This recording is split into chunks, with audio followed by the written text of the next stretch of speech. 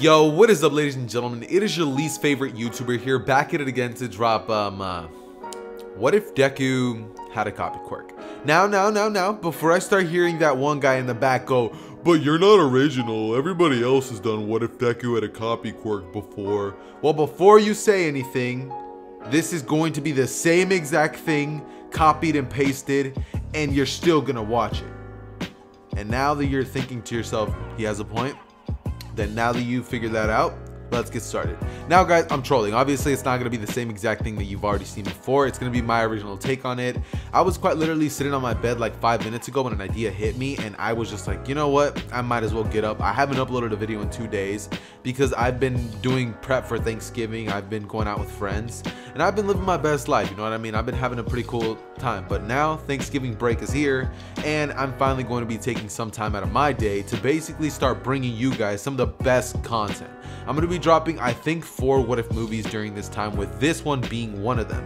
Now, this video also is going to be a sponsored one, however, those details will be midway through the video. That being said, though, let's get right into the intro. Hit it! Hey, Ross, sauce it up.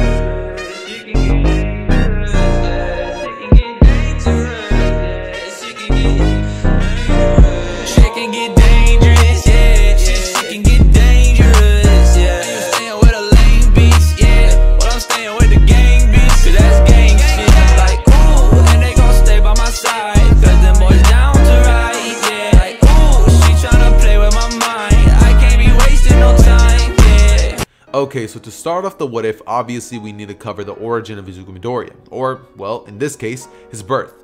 The only real change to the story is basically going to be his parents. Because when it comes down to Deku's appearance, he's basically just going to be looking a little better than what he does like in canon. Going to be having a little bit better in terms of genes. Now that is going to be because he is going to be the son of Inko, a retired model, meaning Inko is going to be looking even better than she does in canon. Um, and Hisashi is basically going to be a retired pro hero, meaning that that man, he's pretty built. You know what I'm saying? He he was a like a let's say like a 100 ranking hero with a fire quirk, and he's still going to be having that same baseline quirk that he had in the original. Now, with that being said, like I said, nothing really drastic is going to be changing in terms of Deku's appearance. Deku is going to be a lot more, you know, like he's gonna look a lot better, but like our man Deku, he's already a good looking guy, you know what I mean? It's just a little rough around the edges, but you know, we can get him there. And so, you know, Deku's just going to be having a couple of traits that are going to be more shown. He's going to have a nicer jawline. He's going to have nicer hair. It's not going to be as like uh as like flumsy or like all over the place, you know what I mean? It's not going to be as nappy as his normal hair. And we're basically just going to have it so that Deku is um excuse me for what I'm about to say, guys. I know I'm about to sound so sus, but the man's going to be cute. All right? So, with that being said, Deku is definitely going to be having the looks. Now, when it comes to his father and his fire quirk, he's definitely going to be a prominent role in terms of Deku's life because of the fact that, well, she was a retired model and Hisashi is essentially an old pro hero, they have a lot of money. Meaning that when Deku was growing up, he's not exactly going to be hanging out around the same crowd as Bakugo and those other kids, because he's going to be going to a whole different school entirely. Not to say that he doesn't live near that same area, because he does. He lives about like like 10 blocks away, like 5 miles away from Bakugo, but that is a pretty decent distance. And so Deku and Bakugo are never really going to be hanging out with each other because uh, Inko and Mitsuki I believe that's her name. Yeah, Mitsuki, Bakugo's mom, are not exactly going to be friends. That being said, uh, Hisashi is going to be there to essentially teach Deku things, and he's going to have a very prominent role in Deku's life, being a very great father figure to Deku. That being said, Deku would grow up, you know, hanging around his father and mother, and he's actually going to be having an incredible childhood, actually being very popular. Being the son of a pro hero definitely comes with its perks. And when Deku turns about 4 years old and finally ends up unlocking his very own quirk, when he does this, it is essentially uh, the ability to copy quirks. Now, it's not going to be the most broken thing in the universe's quirk, and it's mostly going to be based off his ability to use it. In case any of you guys have ever read the story of an Ordinary, a webtoon, it's kind of going to be like that with a couple of added benefits and with a couple of drawbacks added to the quirk. And so we're going to need to copy that. And how exactly was it Deku unlocked it? Now, one day when Deku was basically out with his father, he would essentially be like, let's say at a mall, all right? They were basically at a mall and this guy basically ended up using his quirk to rob the register because he didn't have enough money to pay for everything. And he basically ended up blowing up the front door window as some security guards ran over there using their quirks to try to stop him, but they weren't able to as the man just ran in through the mall and everybody was just standing by. Now Hisashi being who he is, a uh, retired pro hero, basically told Deku to stay there as he basically used his fire quirk to shoot a gigantic like a beam of fire straight from his mouth, which basically caused the villain to get knocked into the wall and fall out unconscious. As Hisashi would basically dust himself off and be like, I still got it. As he would go over to Deku and be like, you see that Deku? Someday you're gonna be a pro hero just like your old man. And you're gonna be stopping villains just like that. As Deku would say, I wish I had a quirk like yours. Being able to do that with, like you was so awesome. I was like, out of nowhere, Hisashi would notice that Deku's hair, it's kind of having like a sort of like reddish tint to it. As Deku looks at his father and he's like, what do you mean? But then Deku realizes it. He's like, is this my quirk? And Hisashi immediately grabs Deku as he doesn't even acknowledge what he just did. He's so excited. He ends up telling taking Izuku immediately to the quirk doctor, a different one than Ujiko, and he would basically end up getting his quirk examined. They would end up telling him that what it looks like is that Deku seems to have a fire quirk. However, uh, or no, not a fire quirk, but it seems to be that Deku has a copy quirk, and it's on, honestly way different than any copy quirks that they've ever seen around ever, as a lot of people basically end up seeing that this should technically allow him to copy one quirk at a time, and maybe through training he can maybe unlock and like end up copying more and more quirks as things go, and so after Deku hears this, he's just happy, like the man is ecstatic at the fact that he has a quirk. You know what I mean? Like the man is like very, very, very happy. You know what I mean? And so they end up basically going home where Hisashi ends up from this point forward starting to try to train Deku in how to use that copy quirk and showing him how to use his fire quirk. Because of the fact that Deku has a copy quirk, he can of course copy his father's quirk. And after about two weeks of trying, he's finally able to copy the flames. Now, they're actually going to be very weak at first because Deku doesn't know exactly how, how quirks work or the anatomy of any of that stuff, but through like basically a little bit of studying and after let's say about one year of training with like learning how the quirks how these quirks work and his father trying to teach him stuff slowly Deku ends up understanding how taking quirks and copying them end, ends up working. And so Deku will now be about 5 years old. And so Deku would continue training with his father with his fire quirk, which is the quirk that Deku is able to steal very, very easily. He would also steal his mother's quirk, which is still going to be that like telekinesis quirk that allows him to move very, very small objects. However, once Deku finally understood how to use the fire quirk, it seemed as if his quirk actually had the innate ability to increase the power of the powers that he himself takes. And so when he realizes this, he's like, yo, that's kind of cracked, you know what I mean? And so people at his school, before he was popular, you know what I mean? He was the son of the pro hero, but now he has a copy quirk that is so cool. Deku not only is limited to having one power, he can have any of them. So everybody immediately starts hopping on this man's rod, you know what I mean? And Deku just becomes popular, like even more overnight. This is when Deku would, you know, continue training, continue learning how to control the quirks, and years would pass, as Deku would often store quirks, finding out that he's able to actually hold up to 4 quirks at a time where he would have realized that when he copies a quirk, his prediction was right. It becomes way more powerful through understanding of a quirk. So if you guys have seen An Ordinary and you guys have read it, the webtoon, there's basically an arc where he basically goes around stealing people's abilities and when he does that, he pretty much is able to make them more powerful and use them even better than the than the user themselves. So Deku definitely gonna have a very good control over the quirks that he does end up copying. And so he doesn't end up obviously, you know, going to going to, you know, the same school as Bakugo. So when Deku's growing up, he's not going to sit there and be like some tyrant type figure, but no, he's kind of just going to be a really cool guy who people go up to and people are really, really going to like Deku. That being said, growing up, Deku actually ends up taking a liking towards basketball. Now, the reason that I'm referring to basketball is because in case any of you guys have ever seen Kuroko no Basket, then you guys know that some of the popular parts of Deku are kind of inspired from a, from a character by the name of Kise. He basically has the ability to copy any basketball styles, and that is where Deku's ability to copy stuff comes into play. Deku's ability to copy stuff doesn't just come in the form of learning how to take quirks, it also comes in the form of learning things very easily. He can copy subtle movements, meaning that he joins the basketball team and he is very, very good at it.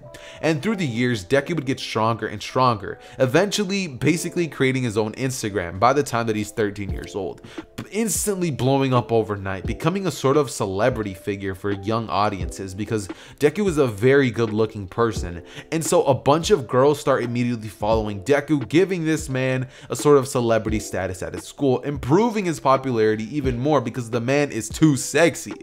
No homo, of course. But with that being said, if I have to say what Deku looks like, he basically rocks a little F-boy cut and Mans is just in a league of his own, to say the least. That being said, he's still going to be growing up training with his father through the past couple of years and his father would teach him a couple of fighting styles and he would even learn a bit of modeling from his mom because of the fact that now he's famous he might as well do a couple of model deals. And so you know he would rep some clothes from high up brands you know what i'm saying? Gucci stuff like that. You know he's he has a pretty big following on Insta. And so he inherently ends up basically learning things very easily, meaning he always stays at the top of his class. And like I said, it being kind of similar to Kise in the aspect of what his personality is like. I just took the power aspect of copying stuff from an ordinary or John, in case you guys have seen that series, and the man is just obviously popping off. He trains with his abilities and he just kind of continues being a great person up until we finally get to the point of the UA exams, where by this point, Deku has already trained his quirk very, very well, trained his body very well, meaning he knows a lot, and I mean a lot of different fighting styles. Deku has studied quirks, Deku understands how they works, Deku has definitely been able to steal random quirks and understand the function of them as well as how to improve them and all that crazy stuff. And Deku is just uh, absolute like broken of a person, you know what I mean?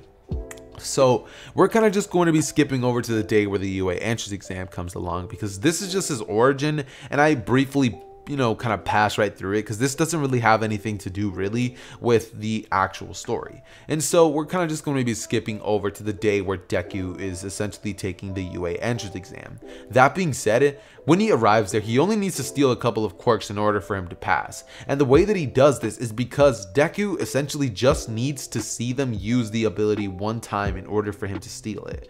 And so Deku is, you know, he's pretty good at that. So what he does is basically before his dad, you know, drops him off, he would basically just ask him to use his fire quirk. As his father would do so and Deku would add it to his arsenal, just waving his dad goodbye, saying that he's definitely going to make him proud. As his father would say, oh, you definitely will. You've never disappointed me, Izuku.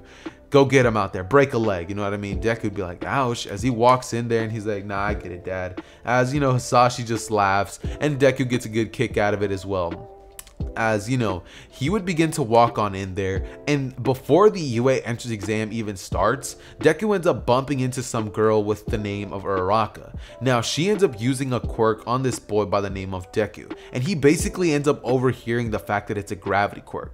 Deku instantly takes note of that and copies that quirk like immediately as he would just continue walking by and he sees another kid using some electricity quirk flaunting it around. This being Kaminari as he ends up stealing that and while Deku's walking over there a bunch of girls immediately start to be like wait is that is that Izuku Midoriya as a bunch of them start whispering and they end up basically noticing that yeah that's him. Nejire who's the third year who's actually at the school and is a pretty big fan of izuku ends up flying over the crowd as deku notices this and takes immediate note as he takes the quirk and just ends up basically giving a big bright smile as he just starts acknowledging all the fangirls you know what i mean? He's having a pretty good time you know the man is straight vibing. A bunch of people are like oh my god it's it's deku! And deku just you know he's kind of smiling giving some waves here and there there, just telling everybody that, you know, he appreciates the fan love. That being said, you know, Deku basically just ends up smiling as he goes inside and ends up taking the written portion. Now, when it comes to whether he's gonna sit there and be like, uh, uh, just start stuttering and muttering all over the place and Iida calls him out, that does not end up happening. However, Iida does still end up calling him out because he basically says that Deku is causing a scene. Because a bunch of the girls are just whispering and muttering and he's basically saying how it's his fault for, you know, being a celebrity and coming on in here all nonchalant. Deku just basically basically tells him that it's not his fault. And when Iida says something, he's like, hey, stop distracting. All the girls give him this death stares. They're like, you better not talk to him like that again. You know what I mean? And so on top of having a copy quirk, Deku has a female army by his side. And uh, it's, it's, it's pretty funny, honestly. It's a pretty funny scene.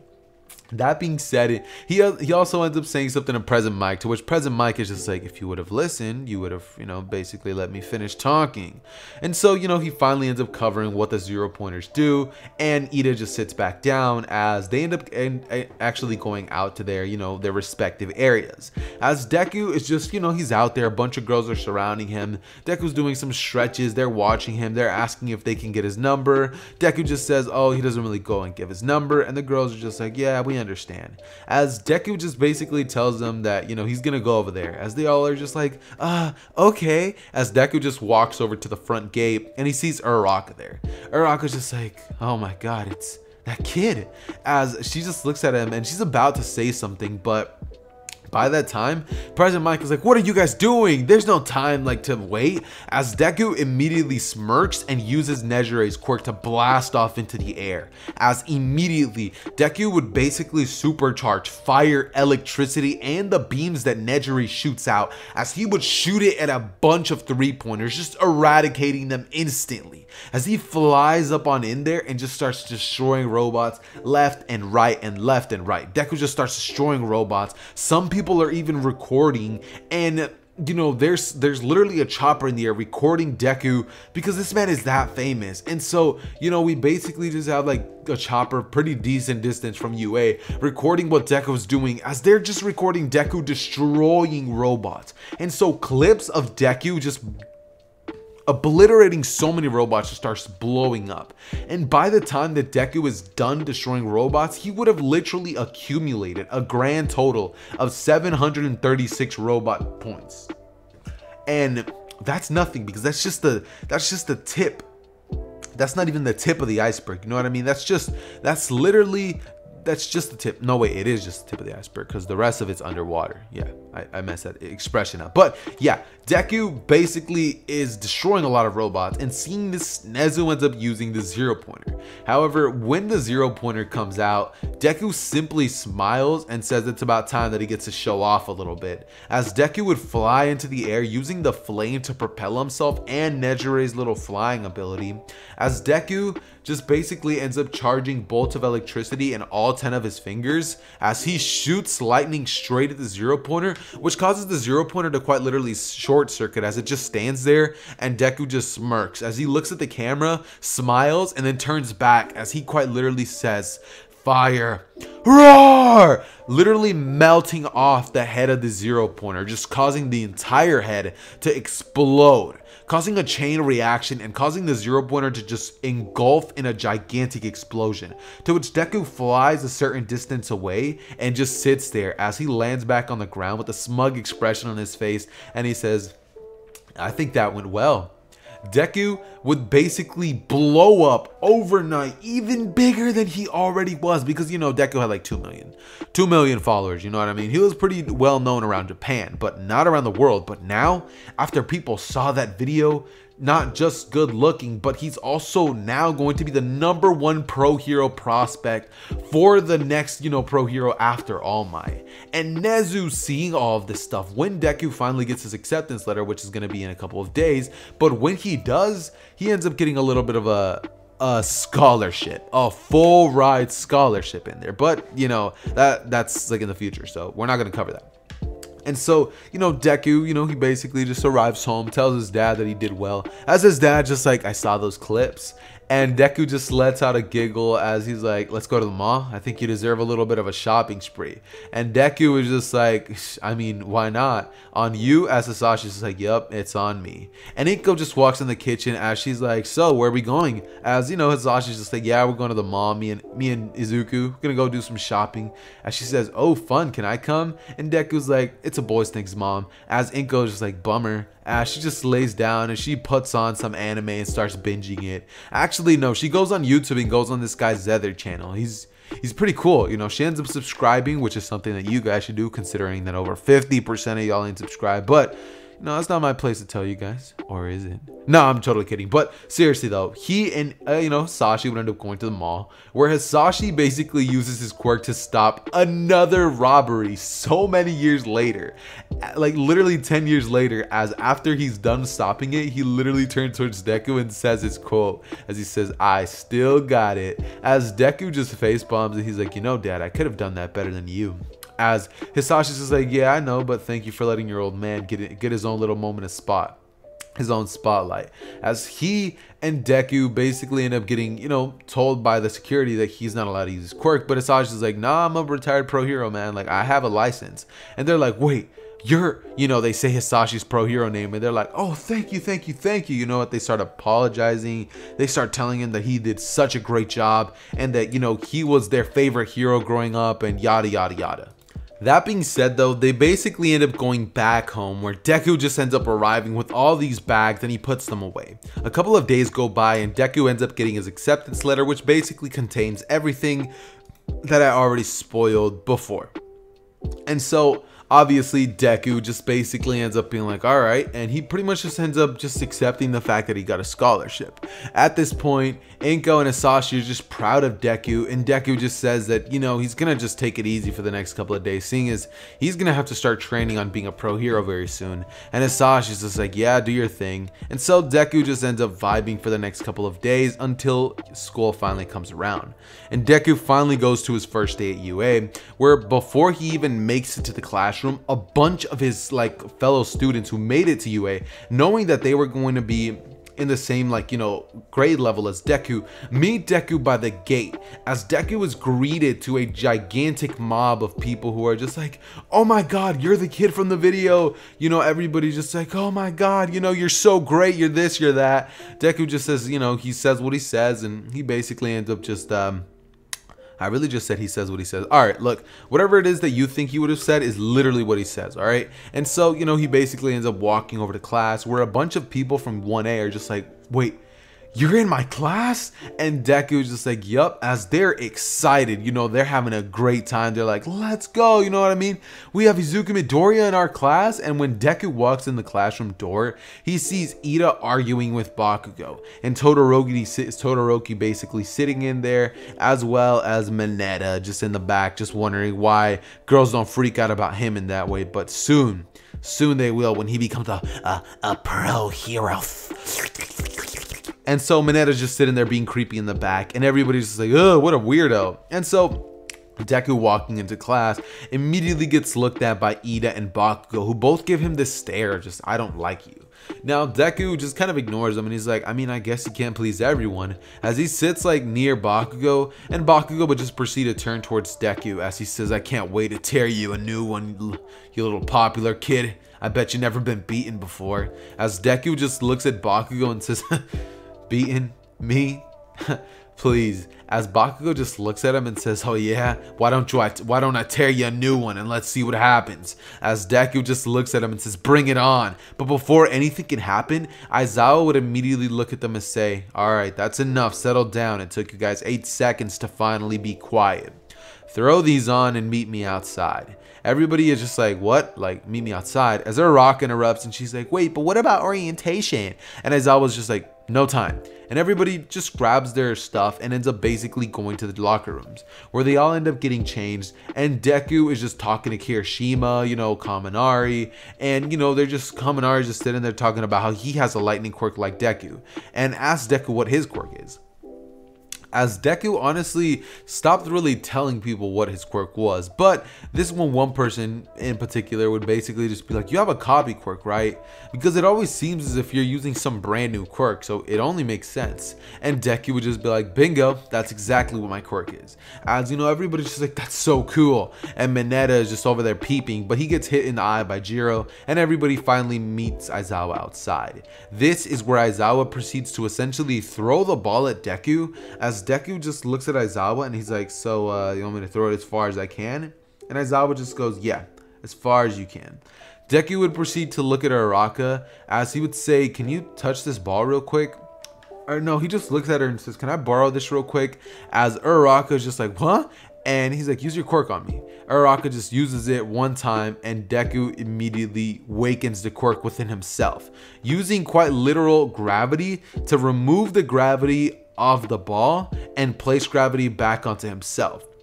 He then proceeds to lighten gravity on himself a little bit, but just enough so that he's still on the ground, but like less so that, you know, he's able to put more power into it, as Deku would also simultaneously use his father's flame quirk and throw the ball straight into orbit, causing Aizawa to just basically have a, some of his hair blow back as he's just like, this kid is amazing.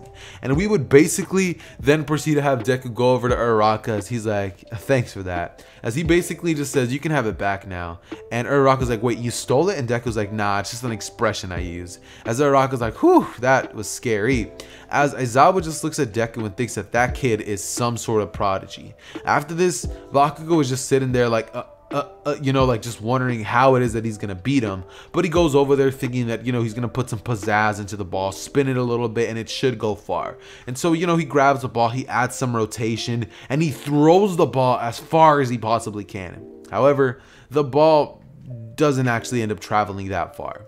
The ball is thrown about like 800 meters, all right? Literally 800 meters. And Bakugo's just sitting there like, I mean, it's better than everybody else. So, you know, he's he's cool, but he's angry because it wasn't some overwhelming victory. But Bakugo just thinks that he's going to destroy him in every other aspect.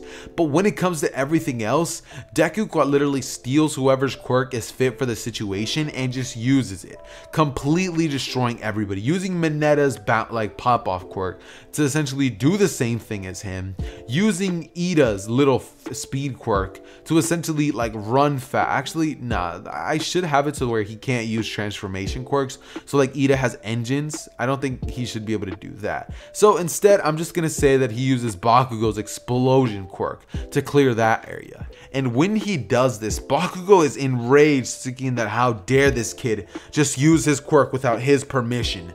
But Deku was able to use it even better than Bakugo has ever done it before. Deku flew through the air in a way that not even Bakugo is able to, and Bakugo would just be bothered by that, getting angered thinking that if it wasn't for that ability to copy others' quirks, he wouldn't be anything. To which Deku would just look at Bakugo and say that, well, if it wasn't for his quirk, he would just be a normal human as well.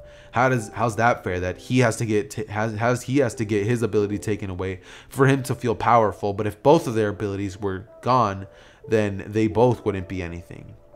So that argument is kind of flawed. Bakugo gets angered and says, why you? As he goes over to throw an explosion, but before he can, Aizawa erases Bakugo's quirk.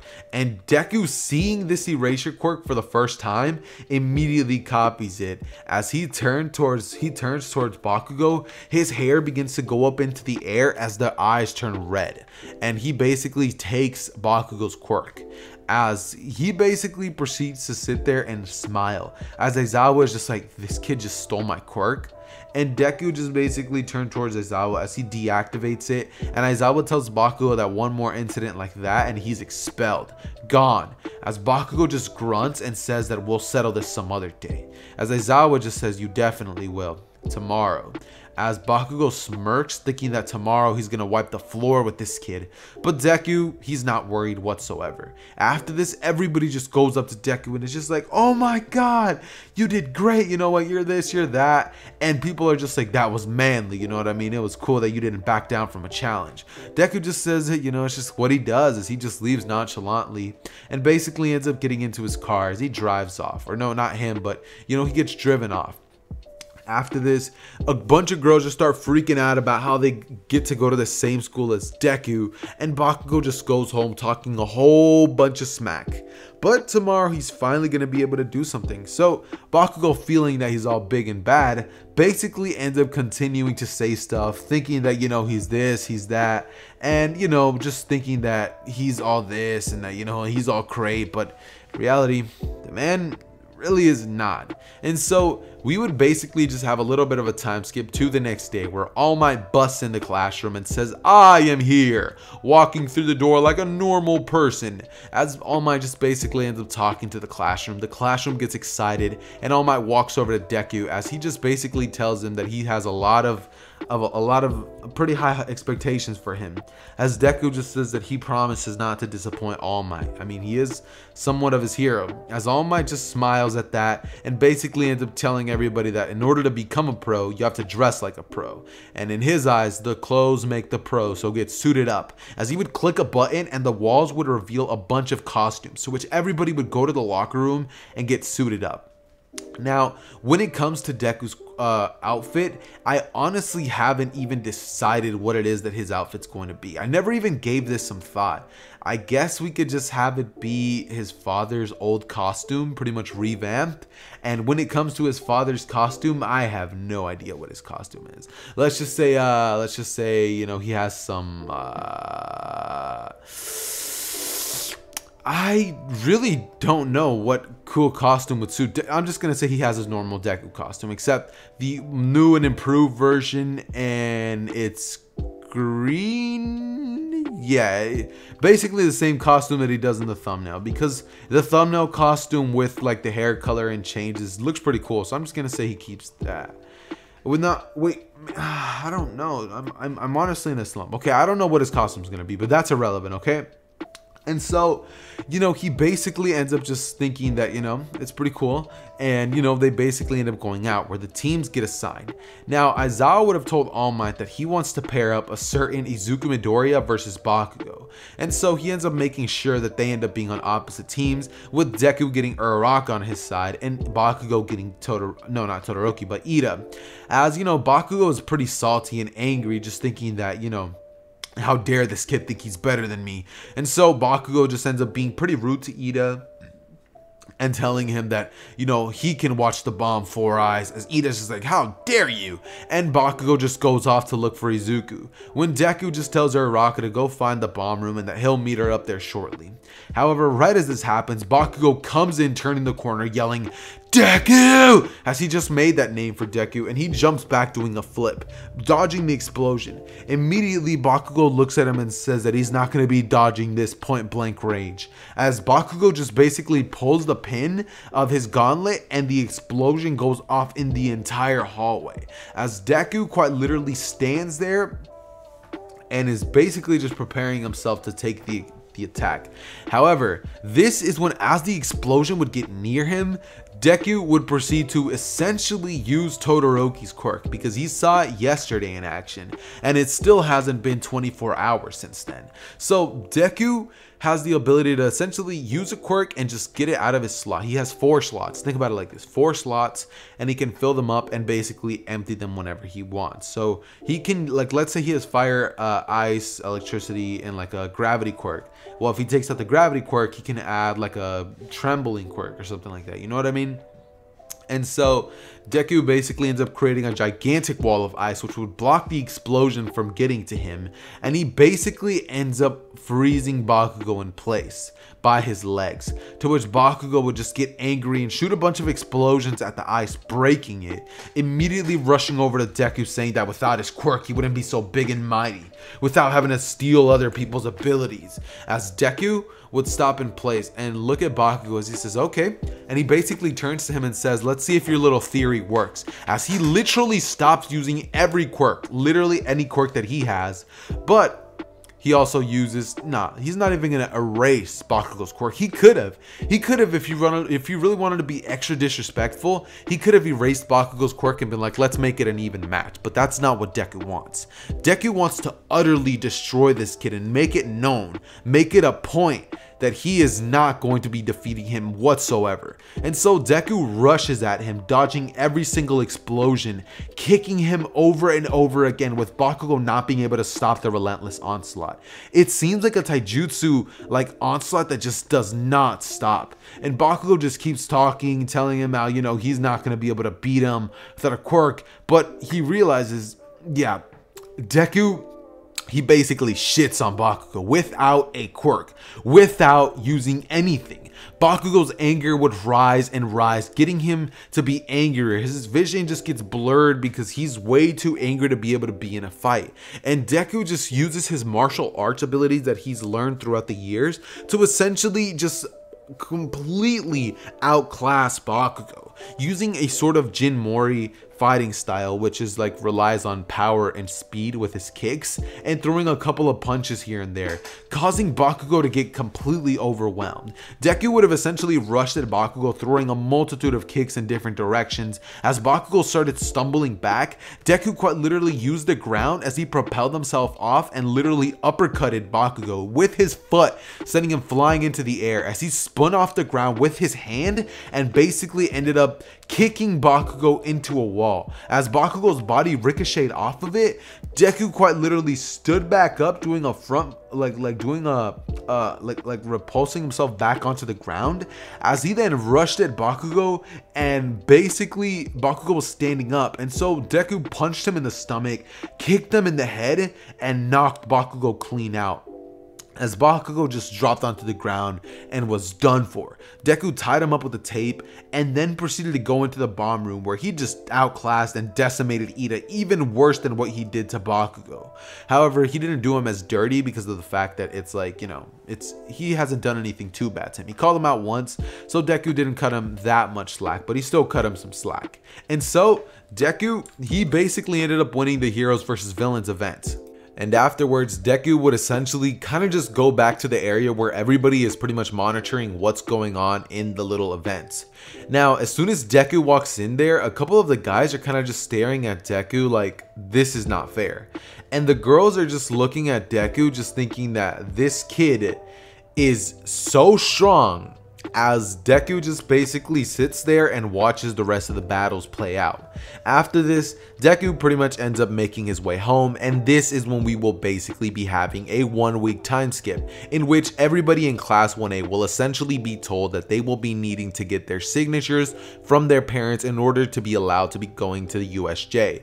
And so everybody would essentially do that with them all being told that yeah they can go. A little bit of convincing had to be done but seeing as they're all wanting to be pro hero someday they have to eventually do this sometime. And so all of them would get on the bus and during that one week time skip, they would essentially have time go by like you guys would expect.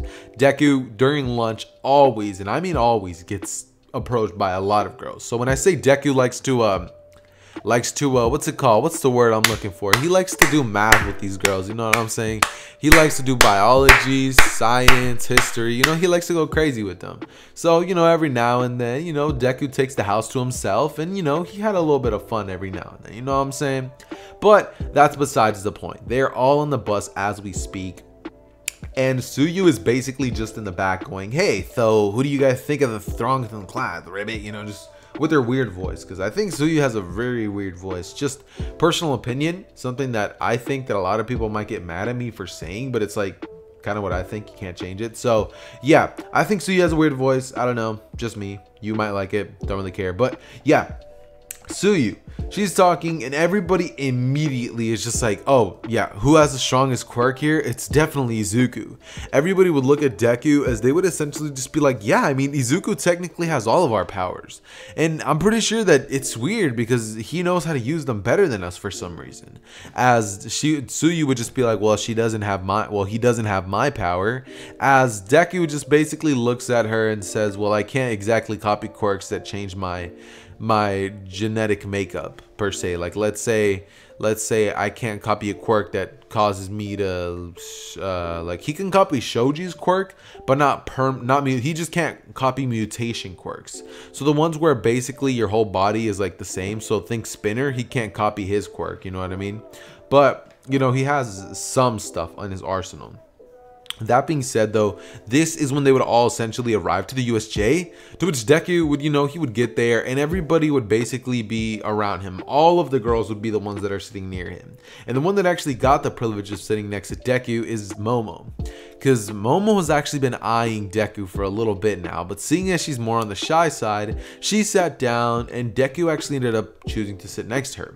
And, you know, Deku and her talked a little bit, but seeing as all the other girls wanted to be there, Deku didn't exactly have any alone time with Momo. And so, you know, of course they arrived to the USJ where all of them essentially sorry, where all of them essentially just get there and 13 would proceed to give her very, very boring speech. She would say that, you know, heroes are are, you know, heroes are always in the front lines having to save people, that quirks can be dangerous. Everybody would be listening to this and Deku has already heard this countless amounts of times. His father Hisashi told him this and engraved this into his head so many years ago that now when Deku's hearing it, he kind of just is like, oh my god, amateur hour, you know what I mean? Because Deku's dad is a literal pro hero. So when it comes to rescuing people, Deku is pretty much a pro. If Deku truly wanted to, he could probably go in the rankings and become very, very powerful off rip.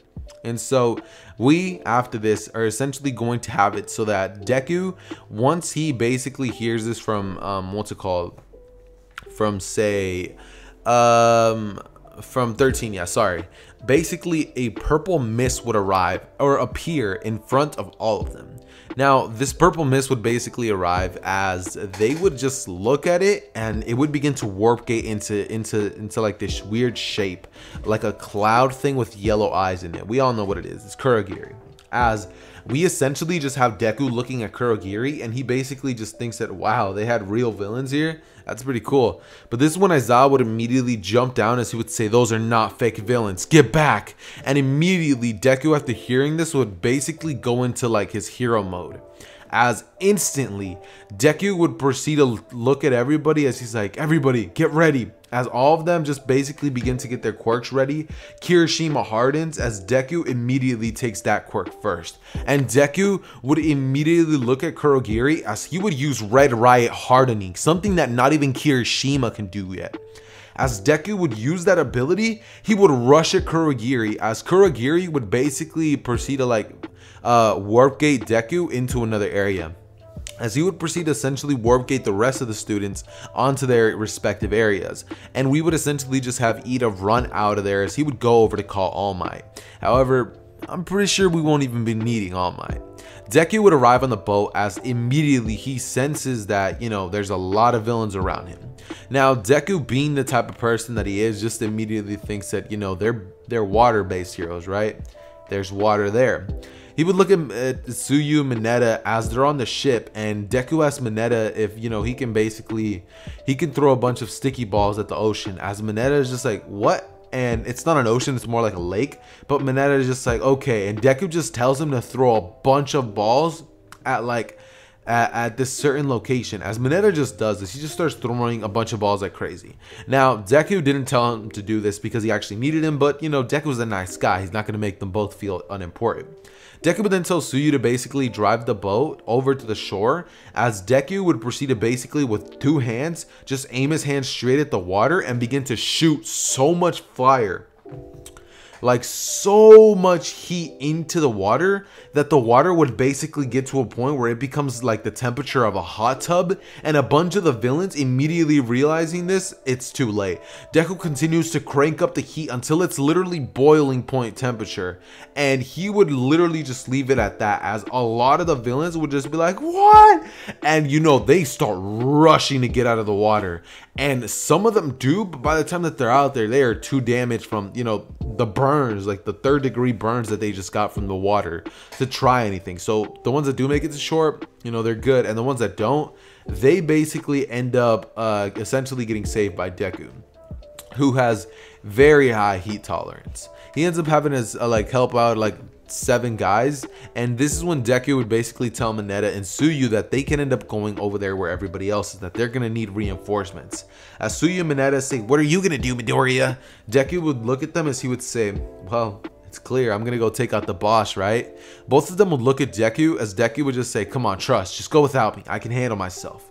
Deku would look at them as they would just look at Deku and be like okay well don't lose as Deku would say I promise I won't and Deku would then proceed to immediately look at the villains as, you know, he would just look over there at their direction and he would just see Aizawa fighting a bunch of villains like at one time. Now, Deku being the person that he is would immediately jump on in there and shoot flames at a bunch of the villains straight from his hands as the villains would start basically getting burnt a little bit and he would pretty much pull an endeavor as he just starts destroying the villains left and right also would rush at a couple of them using Red Riot, Unbreakable form, and he would begin to pretty much start abolish or just destroying them. Sorry, abolishing is the wrong word, but destroying all the villains very, very easily. Deku is having a very good time taking out all these villains, and so we would essentially just have Deku continuing to go in there and just, just destroying these these villains, right? Until Aizawa and Deku basically end up going through all 70 of the villains that were left. And after this, Shigaraki would begin to scratch his neck as he would say, It's not fair. It's not fair. He's cheating. As you know, he would basically look at the Nomu, or no, at Kurogiri as he would say, Kurogiri, bring out the Nomu. Immediately, a gigantic bird-like creature with a brain at the top of its head would appear. As Deku seeing this, would immediately just think that this might be a problem. And this is when Shigaraki would rush at, you know, uh, he would begin to rush at Deku as he would say, Nomu, kill the hero. I'll take care of the brat. And Shigaraki, being overconfident, would rush at Deku having his decay quirk active. Now Deku seeing this, wanting to know what exactly the quirk is that Shigaraki has, would basically just continue to watch him. As he would dodge all of Shigaraki's attacks while Aizawa basically gets punched without without all the rest of his quirks, but he still has a super strength. So the Nomu punches Aizawa and it hurts a lot and Aizawa basically gets sent flying with the Nomu following him and bringing him back to the location. However, as that was happening, Deku was basically dodging all of Shigaraki's attacks. He would basically try to swipe at Deku a bunch of times and Deku would simply weave. Have you guys ever seen a boxing match? Deku would essentially just do that, backing up slowly, slowly until Shigaraki ends up basically falling and he would grab the ground with both all five fingers as the ground would basically begin to disintegrate. Now Deku seeing this would immediately say, no way. As he would immediately copy the quirk and his like his entire aura would change. Deku now has three abilities that he's copying. Now, one thing that I never actually ended up acknowledging was that Deku's quirk, you know how I basically said that he turns like a sort of red, like God Ki aura looking type thing?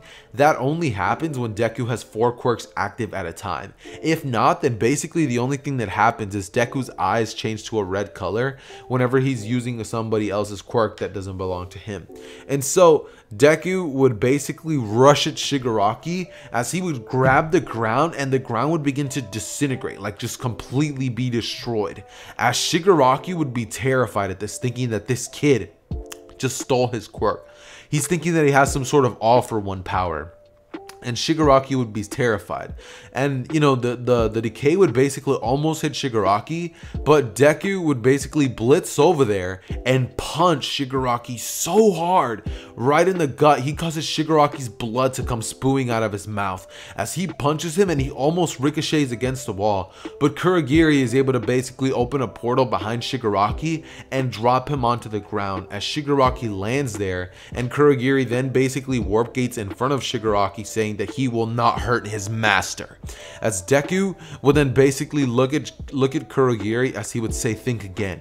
As immediately all five fingers were turned like this sort of orange golden look like for an explosion because he copied Bakugo's and he would shoot a bunch of AP shots from all five fingers which would actually end up piercing Kurogiri's metal part, his weak spot and end up causing Kurogiri to basically be weakened. As Deku would rush over there, and it's at this point that Kurogiri and Shigaraki would warp get out of there, just barely making it out. With the Nomu being left there with no orders, the Nomu would quite literally stop fighting and just stand there. As it has Aizawa's head gripped in its clutches, All Might would then arrive as he has an angry look on his face, and he proceeds to come down as he punches the Nomu one good time as it gets flung off of Aizawa and all Might basically realizes that the Nomu is very, very powerful. So he would throw one of his strongest punches, barely being able to send the Nomu out of the USJ.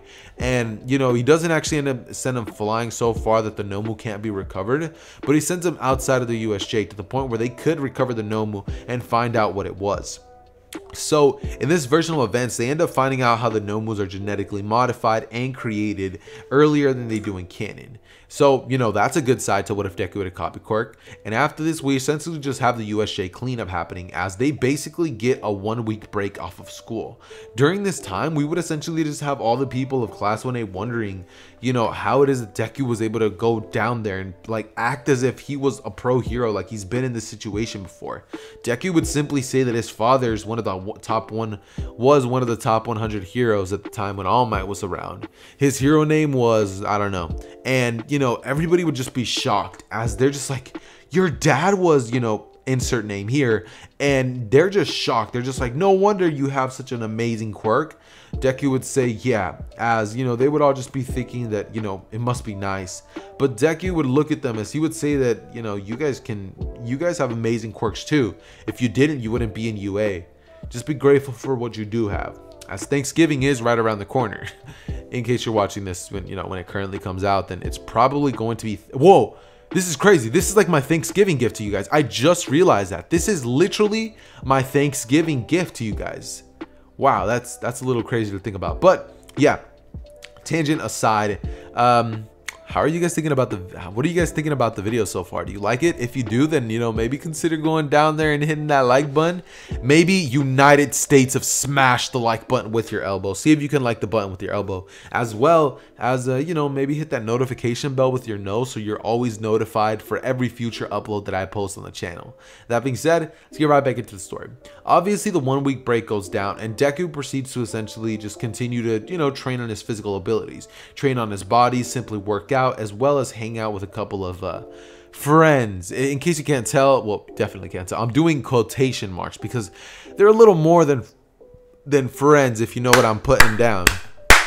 And so we basically just have it to where Deku is essentially um just having a pretty decent time during that one week break where they all essentially end up returning and the entire situation with Bakugo calling everybody extras as well as them all being informed about the USJ would go down. That being said, we're kind of just going to be skipping over to the day of the USJ because I mostly like to cover the funny and or interesting events in my what ifs. Seeing as none of that's really going to change and it's kind of just going to be them in the classroom, that seems a little boring. So we're just going to skip all over that and we're going to get straight into the USJ.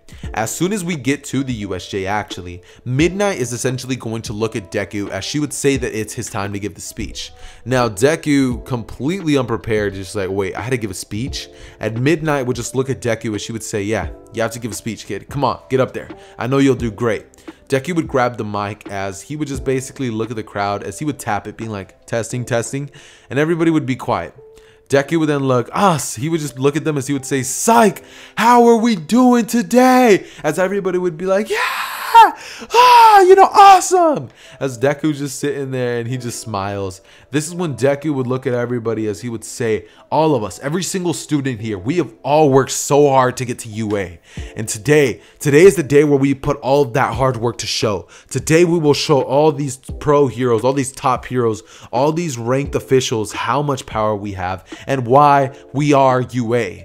Every course has the ability to shine and we will all make sure that we show up today for everybody that came to watch. So if I can, if I can have all of you guys, please join me as I say, class, or no, no, no, no, as he would say, UA High School is the best, or something like that. As he would just get everybody hyped up, and you know, people would just start screaming. They'd be like, "Oh my god, I love that kid!" You know what I'm saying? And then we would just have Hisashi in the stands being like, "That's my son."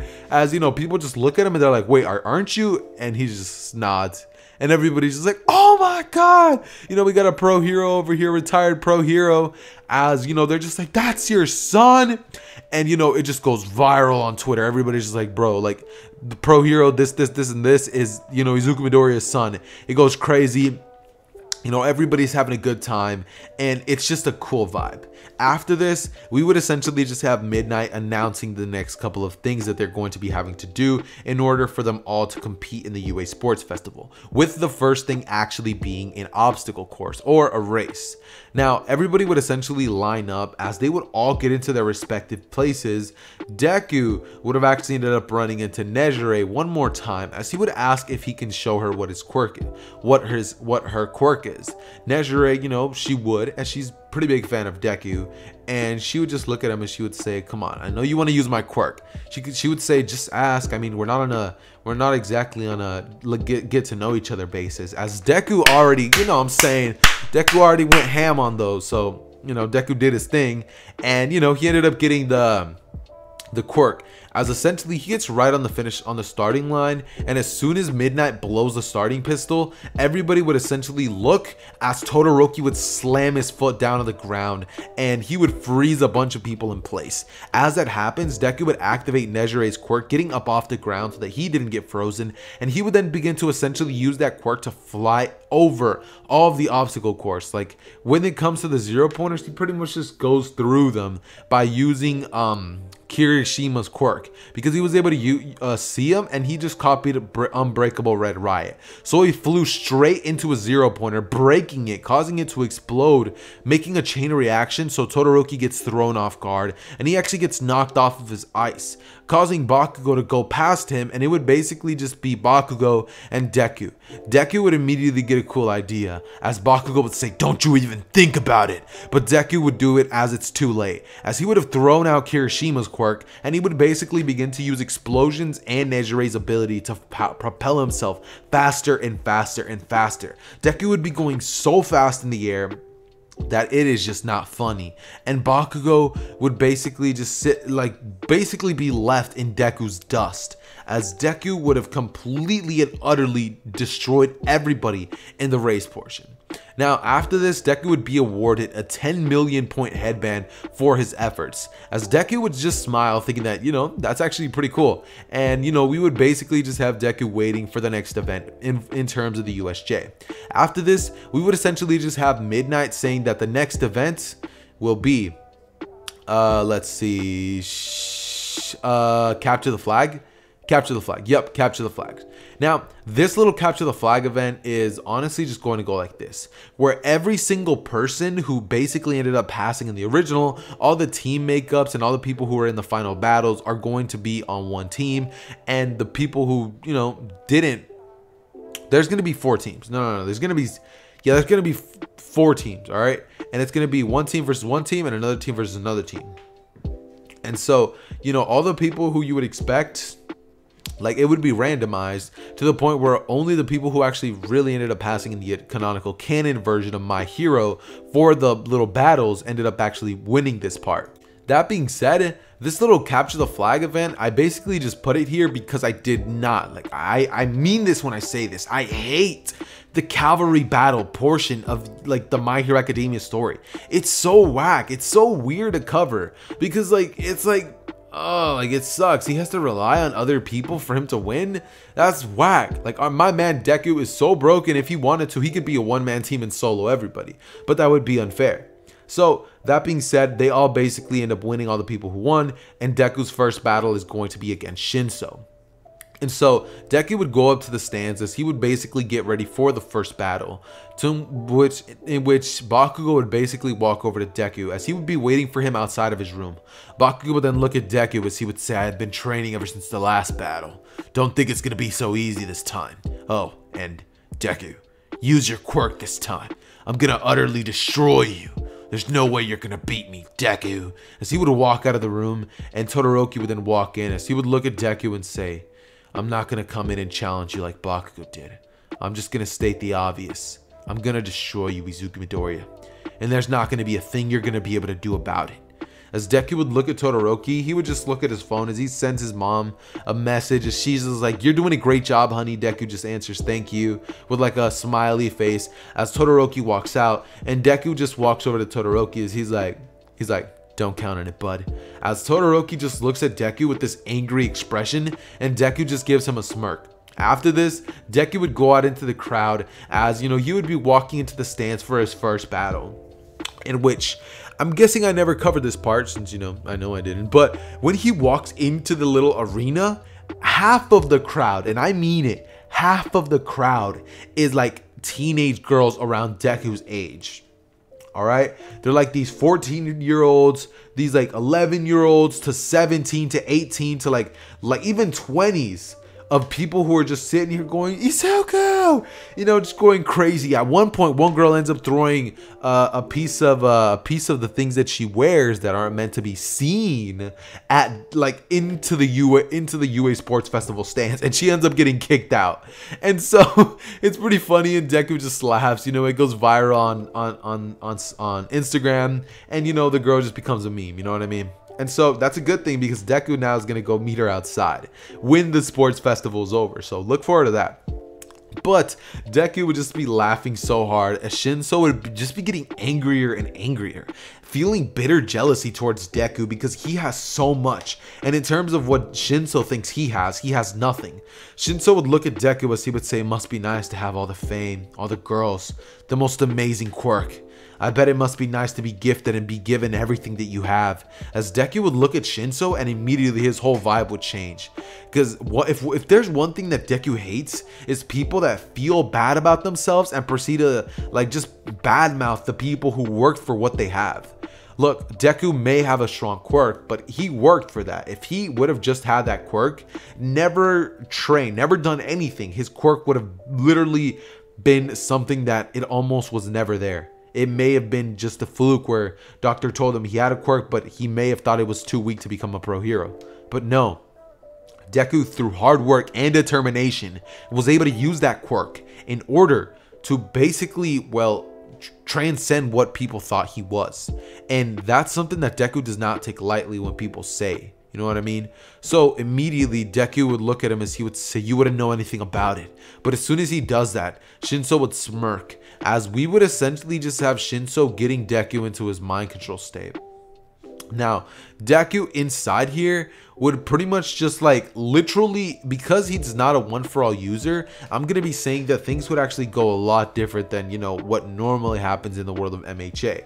Deku after doing this would immediately like see himself in like this this sort of like strange world where he would also see Shinso in his mind and it would kind of be like an internal battle with himself which Deku would slowly have to win and claw his way out of in order for him to regain his his well ability to control his own body. And so Shinso would basically just smirk as he would say walk off and Deku would be walking off the stage as a bunch of girls are just yelling, Deku, no! And inside of Deku's mental state, he would basically hear all the cries, all the cheers, everybody telling him not to give up and to try, you know, to keep going. Deku would hear that as he would push and he would instantly be able to break out. Now, I'm not gonna lie, that was a little bit of plot armor, but you know, we're not gonna talk about that. And Deku would then basically proceed to look at Shinso as he would say, ah, so you got a little brainwashing quirk, huh? Well, why don't you get a taste of your own medicine? Deku would say that. Shinso would say, What do you mean? And, you know, Deku would just say, What do you mean? What do you think I mean? As Shinso would say, I don't know. But as soon as he says that and he answers Deku's question, Shinso would immediately be put under Deku's mind control. As Deku would rush at Shinso and punch him straight in the stomach so hard that Shinso, like his body, even though he has no control over it, would just cough out like blood as Deku would then basically kick Shinso so hard that Shinso gets sent into the grass and is completely knocked out. Everybody would be wondering what exactly happened in that match as Deku would just start waving everybody in the crowd, just being like, don't worry guys, I won, I won't give up. And, you know, Deku would then basically proceed to go over as, you know, we then have Uraraka versus Bakugo and the rest of the first battles that happened as we would then basically be having Deku versus Todoroki. Now, as soon as the battle starts, Endeavor would yell over the railings. He would say, Shoto! As Todoroki would look up at the at the area and he would just have an angry look on his face. He would immediately send a gigantic geyser of ice, which honestly, if he would have let it go, like Deku would have let the entire geyser go, that thing probably would have hurt people in the stands. And so what Deku basically did was he copied Todoroki's quirk as he shot out the flames. Todoroki's flames right back at the ice as he shot it from the exact arm that Todoroki can shoot it from and he would begin to melt the ice the iceberg before it could even hit him. Todoroki would get angered as he would say, I'm not using that quirk. As Deku would look at him as he would say, What are you talking about? And Todoroki would begin to just shoot more and more ice at him, telling him that he's not gonna win. As he would say he's gonna win with his own power. As basically Deku would continue shooting fire as he just slowly walks over at Todoroki, and Todoroki is slowly just getting pushed more and more and more off of the ring. As Todoroki would then look at Deku, as Deku would basically ask him why he won't fight. He, he asked him why he won't use his flames. Is he not strong enough? Does he not think that he can handle it? As Todoroki would look at him and say, You wouldn't understand. And Deku would basically just say, Try me. Todoroki would then look at him and he would say, When you have an old man like mine, then you wouldn't want to use those flame those flame abilities. As Deku would say, That's what it's about? A grudge against your dad? Are you serious?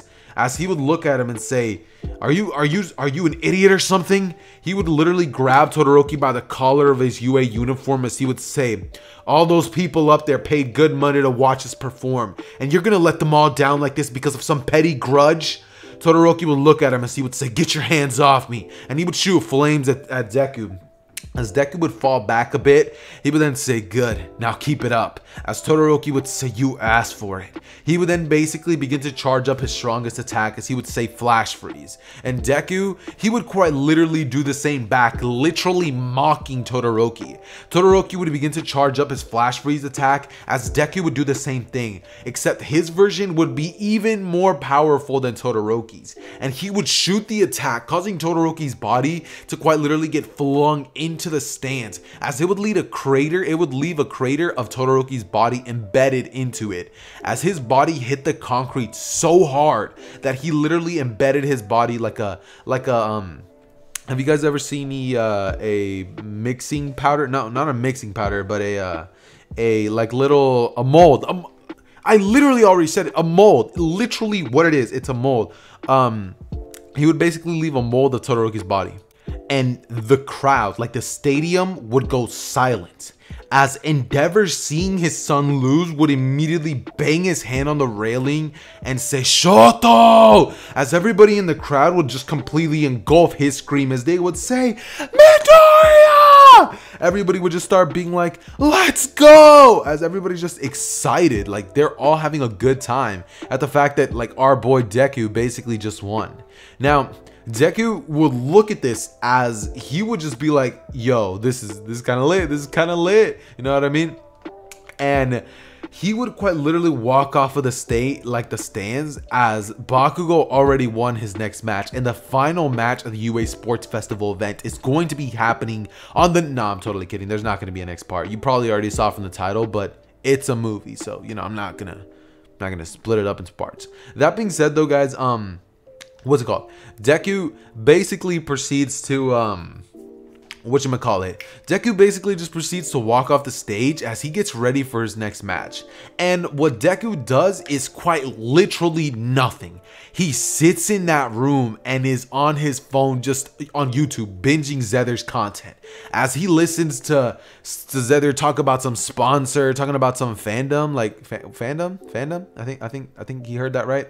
As you know, you just hear that and then you basically just hear him, you know, rambling on about how Deku, you know, he has Gojo's powers, and Deku's just sitting there like, huh, you know, that's crazy. As you know, we basically just have him be like, all right, whatever. As he basically proceeds to grab his stuff and just be like, okay, so what do I do? As he kind of just sits there and he proceeds to well, essentially just lay there until he finally gets called back out. And when Bakugo comes out, everybody in the crowd is just like, boo! You know, they're all booing Bakugo, saying, You're gonna lose to Midoriya anyways, why are you trying?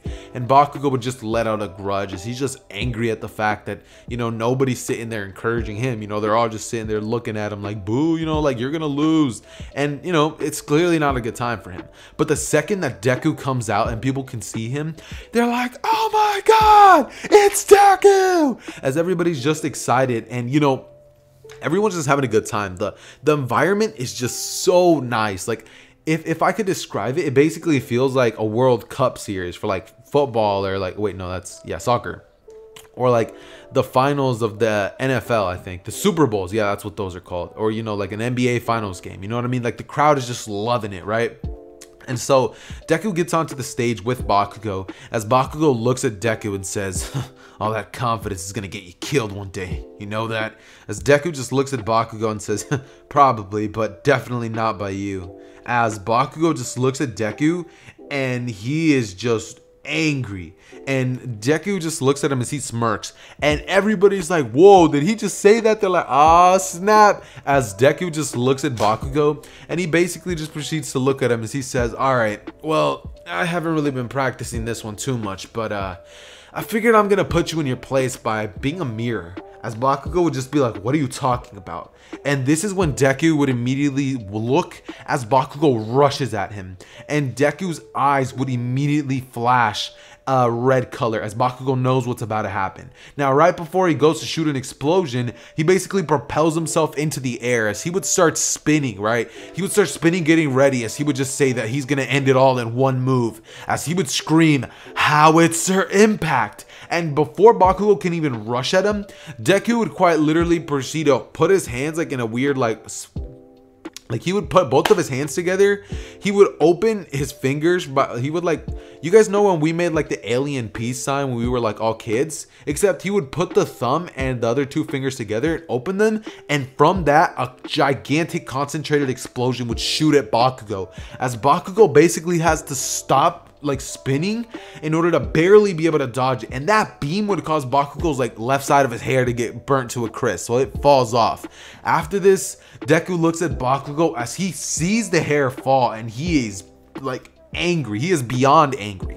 Bakugo rushes at Deku as he's like, How dare you! As you know, he just lunges right at Deku, and Deku would then basically proceed to have these explosions come out of his foot as Deku pretty much rushes at Bakugo and shoots explosions from from his hands as he then spins like right in front of Bakugo and with his foot he literally uses a kick like that's fueled by an explosion to get Bakugo's head to pretty much almost get kicked off of his shoulders as Bakugo's entire body just is flung out of the ring. But before he can get completely out Bakugo saves himself with an explosion just barely yelling out he's not gonna win but right as Bakugo goes right back into the ring, Deku already has a gigantic explosion as he puts both of his hands out in front of him and says, Die! He would immediately shoot that gigantic explosion, which causes a massive amount of smoke to rise as Bakugo is flung right into the concrete and his body is literally leaving a mold of itself into the like the walls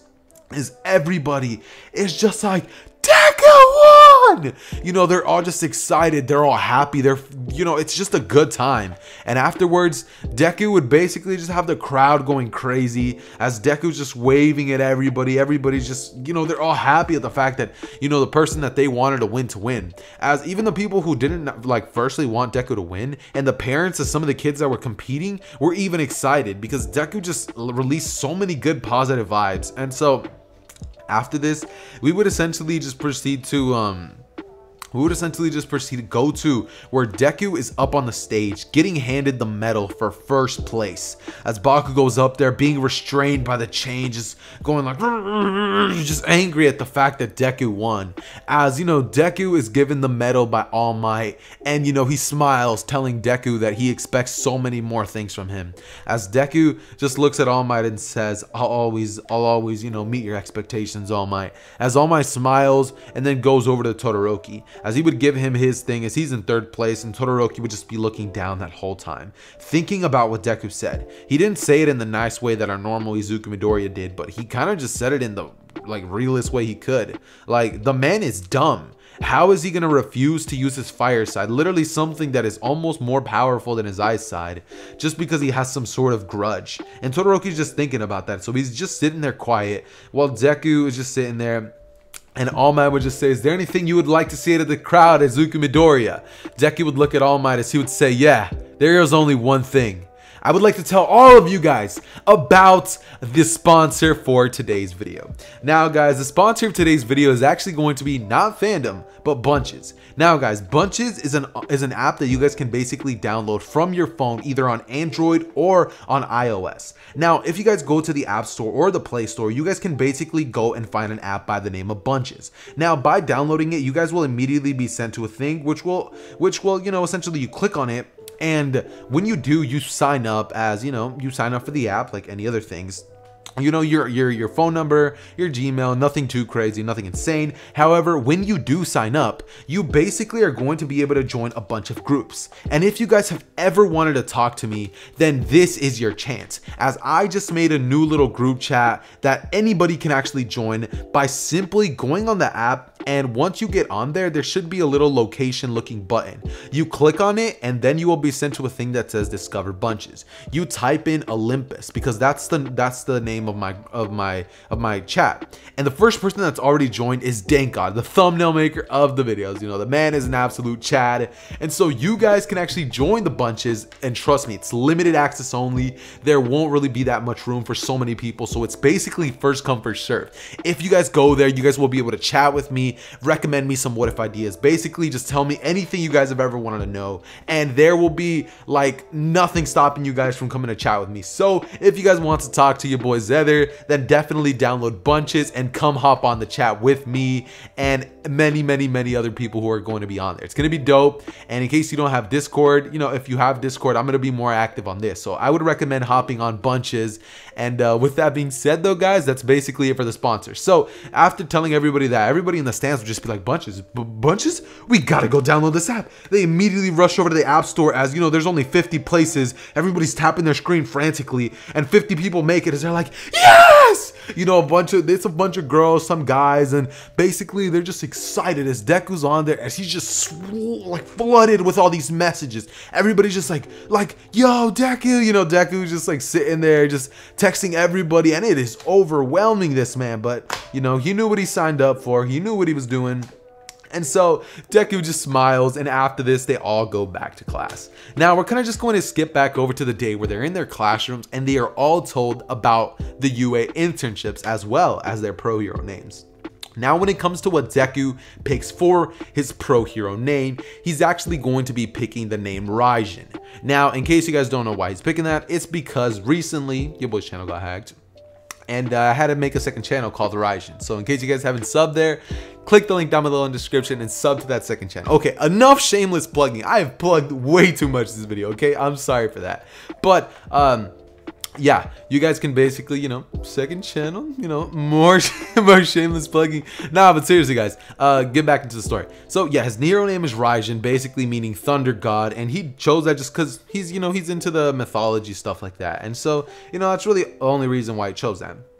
That being said, we would basically just have Deku picking that as when it comes to what his internship is going to be, he's actually going to be going to the agency of let's see what's a cool agency? The little the little thing with the stain is probably still going to be happening. So let's see let's see let's see. Who should De honestly guys i really have no idea who deku should go with. So here's what we're going to be saying. All right check me out check me out so when it comes to that, the Hosu City incident is still going to be happening. You know, the Iida is still going to be going with Manual. Everybody else is still going to be going to their normal agencies. And we're just going to be saying that Deku, seeing an offer from the number two hero Endeavor, ends up basically taking that offer. So the internship with Endeavor basically goes a lot different than many of you guys would expect. Now, when Deku arrives to the agency, Endeavor would immediately greet Deku as he would just look at him and say, Kid, if you were anybody except for your for your, your your father's you know son i would probably not treat you with too much respect. But seeing as you're the son of a pro hero which i used to which i used to intern with then I'm gonna treat you with some respect. I'm gonna teach you how to use that quirk of yours, and it's gonna be even more powerful than it's ever been. As Deku just doesn't even see Todoroki anywhere to be found. Like Todoroki did not even go with his father. Instead, he ended up going to some other pro heroes agency because he was like angry at his dad, and Endeavor actually ends up taking the time to train Deku. Not being, well, he's still mean about it, but not as mean as he normally would because Endeavor still hasn't chilled out as a character up to this point, so Endeavor is still not exactly the best person. But seeing as Deku's father is, you know, kind of trained him, he's gonna, you know, do his best that he can to help train Deku. Now, when he does this, he kind of comes to find out that Deku is more than ready to handle himself as a pro hero. So, what Endeavor basically ends up teaching him in and of itself is how to run a hero agency. Deku ends up learning things like this and that, and then the host of stuff finally happens. Obviously, the League of Villains and the Shigaraki and Stain stuff would still end up happening. Iida still ends up trying to go, you know, fight the hero killer. And um, Iida, I'm sorry to say this, but uh, rest in peace. Yeah, Iida's dead. He's he's he's dying there's not going to be no Dekus with, you know, best friends with Iida because that's not the case. And so, Iida, sorry to tell you, man, but you're dead. Stain, you'll live to see another day.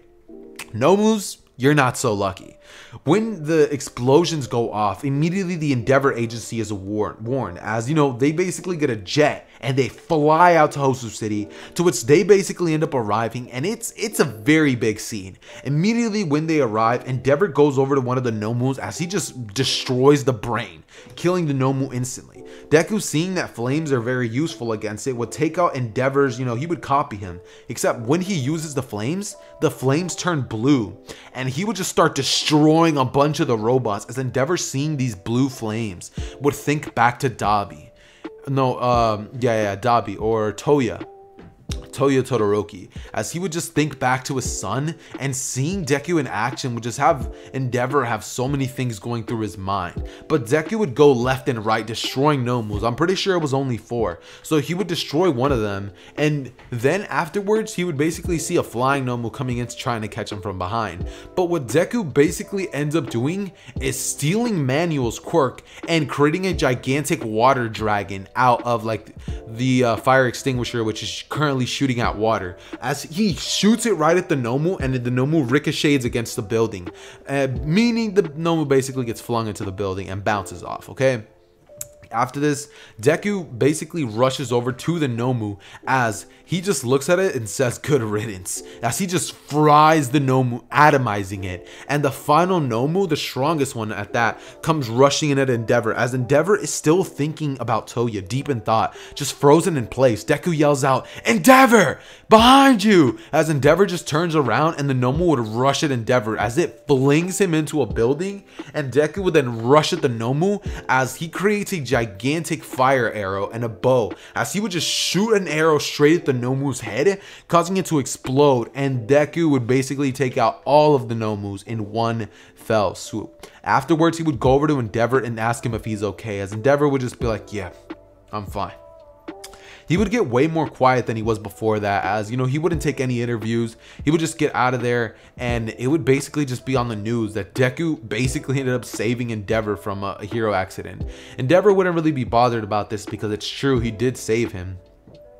And Endeavor would just be thinking about Toya a lot, just kind of quiet about those things and, you know, things like that. That being said, though, guys, at this point, I need to say one thing. I'm not going to be making some like Thanksgiving like video for you guys. So instead, I'm kind of just going to say here. Today, Thanksgiving. And I just have to say Thank you to every single person who subscribes to the channel. It truly, truly, truly means a lot to me that you guys are a community which I can wake up to every day, make a fire what if for, and you guys will always seem to enjoy it. It means a whole lot to me, and if it wasn't for any of you guys, I wouldn't be having this amazing job that is YouTube. So, quick thing, just thank you. All right, thank you to all you guys. That being said, back into the what if. They would all basically return to the classrooms with Bakugo and everybody getting the same experience that they did. Bakugo was with Best Jeanist, meaning that he didn't really get that much experience. So everybody basically ends up um what's it called? Everybody basically ends up just going back to class as they end up having the little pro hero race. Deku, of course, ends up winning because he ends up taking, let's see, he just ends up using Bakugo's quirk to, you know, com basically complete the thing. But in all honesty, you know what Deku could have done? Matter of fact, this is what he's gonna do. Nah, like I take back what he said about using Bakugo's quirk. Deku doesn't like using his quirk. And so instead what he would do is use his father's flame quirk and create flame wings on his back, which he would basically use to propel himself into the air and just fly over to All Might as he would rescue him. After this, All Might would explain to all of them that they're now going to be having the um the forest training arc, which they would all basically be told to go home and essentially fill out like some form saying that, you know, they're allowed to go to the forest training arc. They all would do so, and you know, then we would have the mall stuff happening, which wouldn't actually end up leading to no Shigaraki incident because he was not about to go up to Deku and try to catch him off guard. He knows Deku was gonna fold this man like a lawn chair. Like, like, bro, if you don't want to get like if you don't want to get like folded like an omelet, then scramble. You know what I mean? And so Deku would basically just have a normal mall experience. And so all of them finally end up getting to take their final exams, which I'm just kind of kind of going to breeze through because I really don't think that the final exams arc is really that important. So everything that really happened in terms of the written exam, just think Deku passes, all right? And when it comes to the other students, their basic um their situations end up going the same that they do in canon. When it comes to who Deku and Bakugo end up fighting against is well All Might, as many of you guys were probably expecting. And when this actually happens, Deku is very much excited. Deku is happy. And at this point, you guys may be wondering, is, is four quirks the limit of Deku? Is that all he can handle? No. After all these extra, you know, after this extra month, like months of training that he's been in UA for, he actually ended up learning how to stock one more quirk onto himself. And when he does that, his hair kind of spikes into the air and he's like, he basically has this like aura all around him that allows Deku to get even more powerful. Not only that, but the quirks that he's able to copy now become even stronger than what they did before. And Deku just seems to get more and more broken every day, you know what I mean? And so afterwards, we would essentially just basically have Deku um as you know he would grab all of his stuff you know what i mean like he would grab all of his things and just put on his costume you know what i mean him and bakugo are just in the area and bakugo does not want to listen to deku like he hates this man Deku with a passion. So Bakugo ends up deciding that he's gonna go fight All Might by himself and that he'd rather fail than have to team up with this loser, this side character who came in out of nowhere and took all of his glory from him. As Deku just wonders why Bakugo is the way he is, but I guess some people just can't be fixed, you know what I mean? And so Deku just basically ends up just accepting the fact that, you know, he's going to have to fight against All Might by himself. So what Deku does is he basically just ends up thinking that if that's the case, then he's going to be needing some pretty powerful quirks. So what Deku ends up doing before all of this basically can end up going down is using number one, Uraraka's quirk. Number two, his father's quirk. He literally never ever uses like he like one of those slots is always filled up by his father's quirk.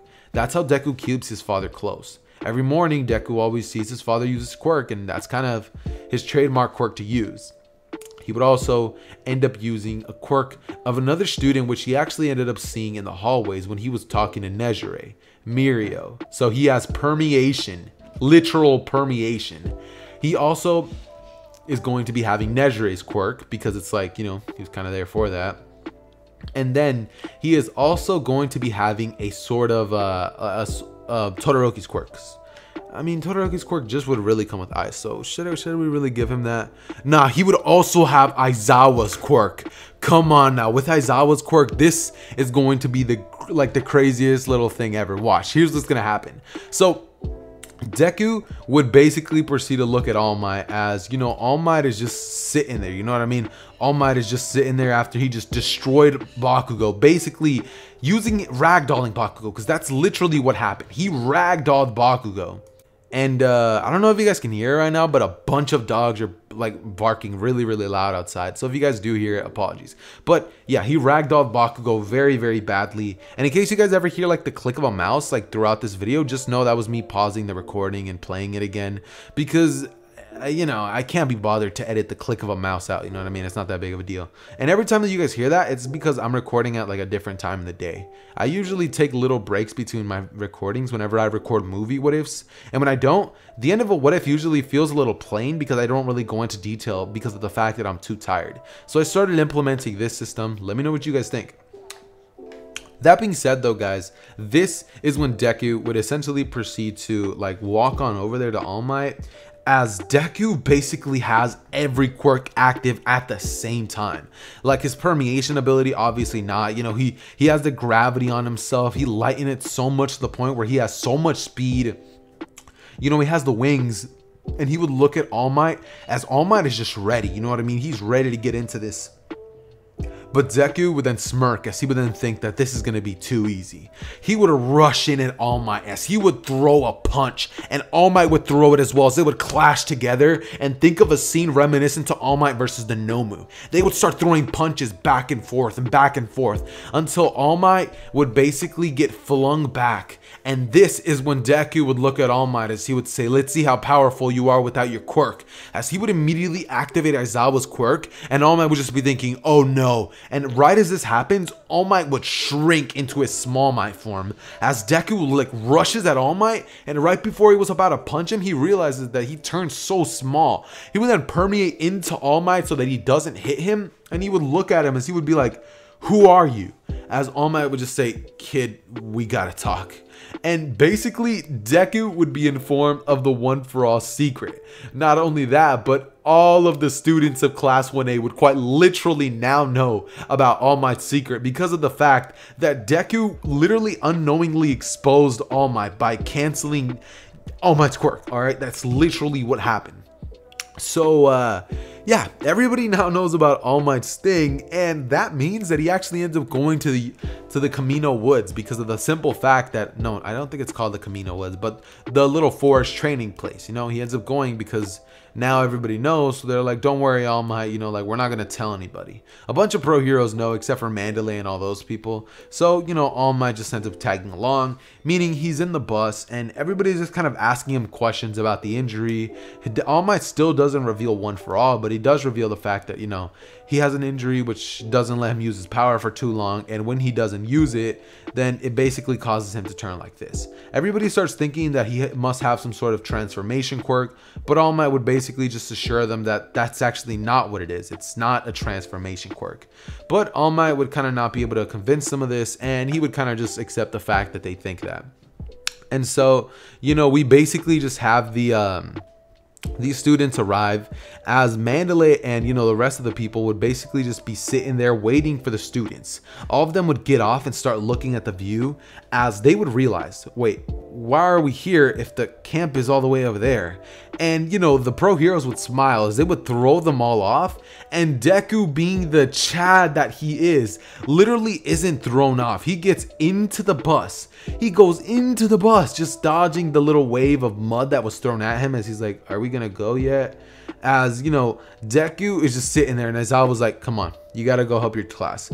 As Deku's like, all right, all right, I was just messing around. It's, you know, he basically just looks at them and says, sayonara, as he jumps off the cliff. And being the mad lad that he is, he uses Kirishima's quirk as he hardens. And as he's falling down from the cliff, he would smash his hand straight into the mountainside as he would basically like use his arms, since they're so sharp, to pretty much cause him to slow down once he gets to the bottom. As everybody sees this, they're like, it must be nice. As Deku, not only did he do that, but he ended up copying the person's quirk who it is to create Mud Monster. So when they walk in there and they see the first one, Deku quite literally just waves his hand and the monster turns back to dirt. As everybody's just like, we love you. And Deku's like, I know they all just basically end up having a relaxing walk across the forest with a couple of animals rushing at them but when they show off their quirks the animals run off in fear. I mean like bro come on now. Like if you're a bear but then there's a kid with a fire quirk you're probably gonna run you know what i mean? So that's uh, you know pretty much what happened. Those little animals would be done dirty by the ua students and um, yeah that's pretty much what ends up happening. In terms of the forest training arc after this what would essentially happen is that um you know everybody would arrive as the the little you know everybody wouldn't really be too tired. And this is when mandalay just finished uh, cooking up the food for everybody.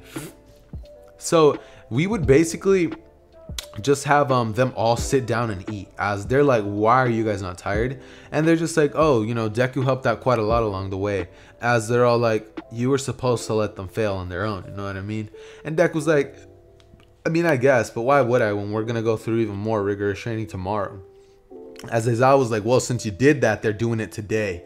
As everybody would have to stay up an extra two hours more than what they would have, literally doing the normal training that they had to do, meaning like Bakugo had to shoot explosions into warm water, Todoroki had to use fire and ice at the same time, just keep using it continuously, and that's essentially what their punishment was for, you know, just kind of following Deku. When it comes to Deku, they try to do something like that, but Deku is already way too powerful as it is. That copy quirk of his is a little insane. So, you know, they kind of just all realize that, and Deku just pretty much helps out with everybody else's training, as well as fighting against the the fourth member of the P- Wild Wild Pussycats, because he ends up fighting him in like in like you know physical hand to hand combat, and we basically just have him fighting against you know the the big guy. So we would essentially just have, you know, Deku, you know, doing his thing, fighting against him, and the first night would be over. After that, we would basically then cut over to the next day, where the next day would be even worse because they're all actually sleep deprived since they lost like two hours of sleep. And yeah, you know, they were not at their maximum potential. So this night, they were even more tired than in the original. And All Might is still, you know, he's still going to be hit, sitting there just kind of helping everybody train, but he's kind of not going to be there for most of the day, kind of just in his room a little bit since he doesn't really want to use his big All Might form all day because in the nighttime they're going to be playing the hide and go seek stuff. So he wants to be able to save anybody in case anybody gets into some tough situations. That being said, though, All Might is kind of just on standby right now, and we would essentially just have the day go by normal until the students all have to cook their curry. When they all do that, you know, they all end up having a pretty good time. The Mineta stuff ends up happening, and Deku finds out about Koda. That being said, when Koda ends up leaving, Deku ends up actually following him. Meaning Koda's not to be, you know, resting in peace in this part. So yeah, Deku, when he's with Koda, he basically talks to him, and Koda just looks at Deku as he would just ask him what would he know. He's some popular little little boy, who's some popular kid who thinks that he has everything. It must be nice to, you know, be blessed with everything that he has. At least he gets to experience parents, have fame, have every every little person like him. Well, Koda looks at him and says, "Well, that's not what I want. I just want my parents back." As he would cry a single tear, and Deku, like hearing this, would just be like, "I." Like he, he would be about to say I'm sorry, but he would kind of just stay silent and out of nowhere we would from the corner hear some laughter happening as he would say, Don't worry, kid.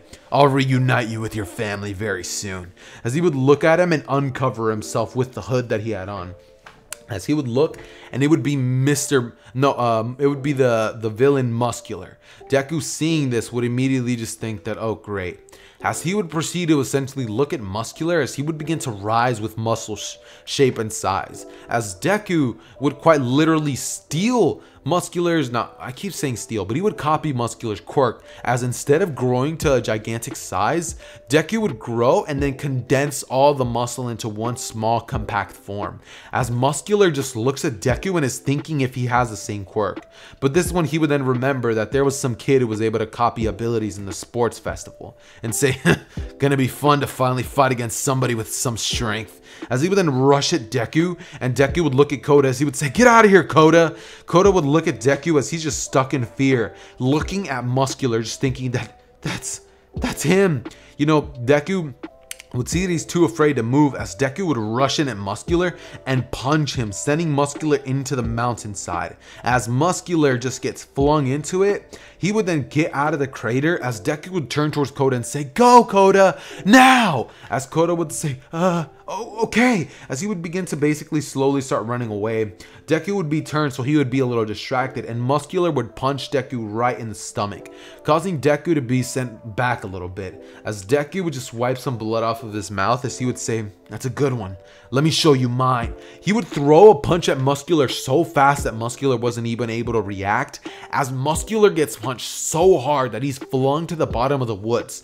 Deku would then jump over there in a Hulk manner as he would land in front of Muscular and think that this quirk is amazing. He would rev up the strength boost so he would make it even stronger. Remember guys, one for all had a like had a pretty decent time struggling with muscular quirk so it has to be pretty strong so Deku would use this as he would just send a gigantic punch straight at Muscular, and Muscular is knocked out. Deku doesn't, doesn't even end up finding out about, you know, Bakugo wanting to get kidnapped in this version of events, and Shigaraki is not even here, you know, just to, uh, to say or speak. So, you know, we basically just end up having everything play out as it does in canon. Deku would end up arriving with Shoji and Tokoyami as he ends up saving Tokoyami by bringing him over to Todoroki and Bakugo, who end up using their flame and explosion quirks respectively to cause Tokoyami's dark shadow to go back. And so after this, they end up meeting with, uh, you know, Toga and Uraraka and, to- and um, Tsuyu as they all basically end up realizing that Bakugo's nowhere to be found, as well as Tokoyami. Deku ends up noticing Mr. Compress as he just thinks, damn it, as he basically ends up having some fire wings fly out of his back. And Mr. Compress seeing this is just like, oh no, you know, he's just thinking that this kid might genuinely like stop him from his mission. So what Mr. Compress would do is he would grab the things that he has in his hand as he would throw them straight at Dabi, to which Deku would blitz right past Mr. Compress, trying to grab the like the orbs. He would grab Tokoyami, put him in his pocket, and then basically rush over, trying to grab Bakugo's orb, but he misses it just barely. And Bakugo basically ends up getting grabbed by by Dabi as the portal would open, and we would then basically have Bakugo getting taken into the portal. But Deku would use Bakugo's explosion quirks that he already had stored that he didn't want to use as he would propel himself straight into the portal, just barely. As he would go into the League of Villains hideout, like doing a little bit of a roll on the ground, as he would see all the villains, and Dabi would shoot blue flames right at Deku. Deku would proceed to jump back as he would dodge them just barely, and Shigaraki would say, huh. Huh, looks like he came to die. As he would rush right at Deku, and Deku, without a second thought, would copy Shigaraki's quirk, grabbing the ground as the quirk would quite literally spread through the entire ground and it would decay every single person in the League of Villains hideout. Like all of them die. And this wasn't even on purpose. And Deku seeing this is just like, oh no, like he accidentally literally just killed a bunch of people. Psych, you thought that's not what happened. Deku obviously isn't some sort of villain. He's not going to do that. You know, he has control over the decay quirk. Now, what ends up actually happening is that Deku ends up basically decaying their, like, their legs. Like, he literally decays their feet. So they cannot stand. And after this, Deku basically just ends up knocking each one of them out respectively with either a punch or a kick. Now, obviously, I could have actually had him kill people, but it's like, you know, it's kind of a little dark. And uh, I don't really want to take it there with the story. The story is just about getting ready to wrap up. So I'd rather just, you know, do my normal script that I was going to be doing. Or do the, not script necessarily, but the idea that I had in mind for the ending. That being said, though, guys, we would essentially just have Deku, um, just kind of like look at look at the villains as he's just accepting the fact that he won. Now, this is when All for One would open a portal, as he would just try to teleport all of the villains away, but Deku, he's not gonna let that happen. Deku grabs the villains as All for One teleports there and basically begins to do some, you know, some classic villain 101 stuff. You know what I mean? He starts clapping, saying, I see you made it, you know, doing all that crazy, you know, villain 101 stuff. As Deku just kind of looks at All for One and he's like, Really? You really finna do the classic villain shtick? As All for One just looks at Deku and he's just like, stick. As Deku is just like, whatever. And he basically just says, Alright, let's get this over with. As he would begin to quite literally use Aizawa's erasure quirk, which has to be one of the most broken, like literally the most broken quirk in the My Hero Academia verse, especially for handling what's it called? All for one. If no, one for all, one for all. No, no, no, all for one. Yeah, all for one. Because if All Might was to have it with that strength, he would have destroyed all, all for like one for all. I mean, all for one, a long time ago. So after this, we basically kind of just have Deku walking over to All for One, who cannot use his quirk.